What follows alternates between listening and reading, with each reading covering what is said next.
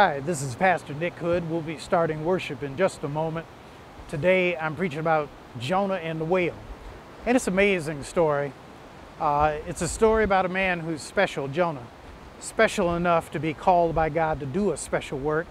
Number two, Jonah goes in a different direction. And I want you to ask yourself, how many times have I gone in a different direction from what God would have me to do?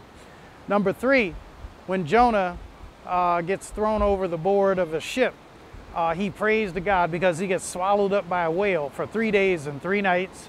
He is spat out by the whale. Jonah swims his way all to the city of Nineveh, where God wanted him to go in the first place. And then when he gets to Nineveh, Jonah gets angry. He preaches the word of God. He tells the people, Repent or you will die. And to the anger of Jonah, God actually repents. God decides, I'm not going to destroy the city of Nineveh. And, uh, and that's how the book ends. Jonah's angry.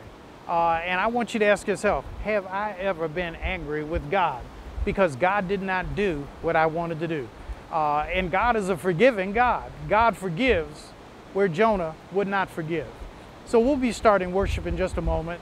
Today is our communion Sunday. Go grab a piece of bread and some juice, wine, uh, water, and uh, I'll be leading communion in just a few moments. We'll be starting worship shortly. God bless. God keep you.